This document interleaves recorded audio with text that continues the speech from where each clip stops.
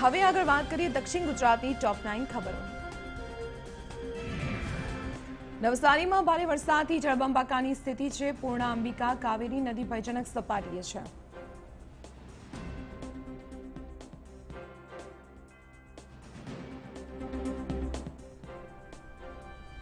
તો નદીઓ તોફાની બનતા તંત્ર એલર્ટ મોડ પર છે શહેરના શાંતાદેવી અને બેસતખાડા વિસ્તારને એલર્ટ કરવામાં આવ્યા આ તરફ નવસારીની અંબિકા નદીની સપાટી વધતા પુલ પરથી વાહન વ્યવહાર બંધ કરવામાં આવ્યો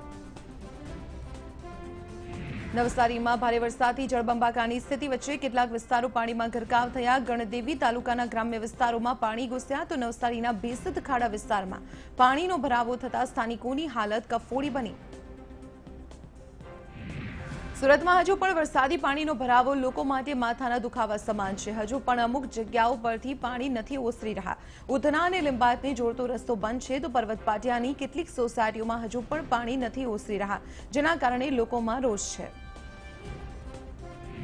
સુરતના બારડોલીમાં ધોધમાર વરસાદને પગલે રાજીવનગર વિસ્તાર નજીકથી પસાર થતી ખાડીના પાણીનું સ્તર વધ્યું જેથી એક પુરુષ ખાડીના પાણીમાં પોતાના ઘરમાં ફસાયું જે પુરુષને ફાયરની ટીમે રેસ્ક્યુ કરી બહાર કાઢ્યો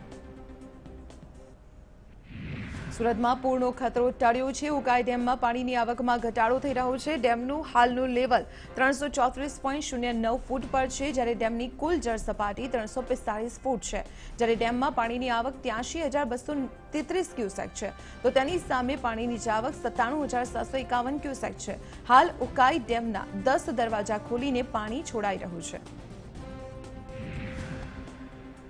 વલસાડ જિલ્લામાં એક અઠવાડિયાથી વરસાદી હેલીના કારણે જિલ્લાના તમામ નદી નાળાઓ બે કાંઠે છે વલસાડ નજીકથી પસાર થતી ઔરંગા નદીનું પાણી પણ વધી રહ્યું છે ઔરંગા નદીમાં પાણીની સપાટી છ પોઈન્ટ એકોતેર મીટરે પહોંચી તો નદીની ભયજનક સપાટી સાતસો પોઈન્ટ બોતેર મીટરની નજીક હોવાથી તંત્ર એલર્ટ મોડ પર છે નદી કિનારા વિસ્તારના લોકોને પણ સાવચેત રહેવા સૂચના વલસાડમાં વીજ કરંટ એક જ પરિવારના ત્રણ લોકોનો ભોગ લઈ લીધો છે. પારડી તાલુકામાં બ્રાહ્મણ ફળિયામાં ઘટના બની કે જ્યાં એક જ પરિવારના પિતા પુત્ર અને માતાને વીજ કરંટ લાગતા મોતને ભેટ્યા. ઘરમાં લાઇટની સ્વિચ શરૂ કરતી વખતે કરંટ લાગ્યો હોવાનું અનુમાન, પરંતુ એક જ પરિવારના ત્રણ લોકોના મોતથી સમગ્ર પરિવારમાં માતમ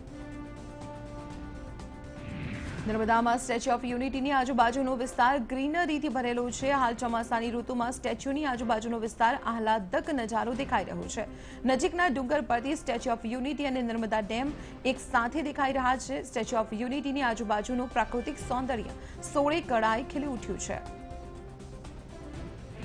સુરતમાં કોરોનાએ કાળો કહેર મચાવ્યો છે છેલ્લા ચોવીસ કલાકમાં સુરતમાં કોરોનાના બસો તેતાળીસ નવા કેસ સામે આવ્યા જેમાં સુરત શહેરના એકસો અડસઠ અને જિલ્લાના પંચોતેર કેસ સામેલ છે તો બીજી તરફ કોરોનાએ વધુ ત્રણના ભોગ લીધો જ્યારે ચોવીસ કલાકમાં સારવાર બાદ બસો અઠ્ઠાણું દર્દીઓની રજા અપાઈ તમામ દર્દી સુરત શહેરના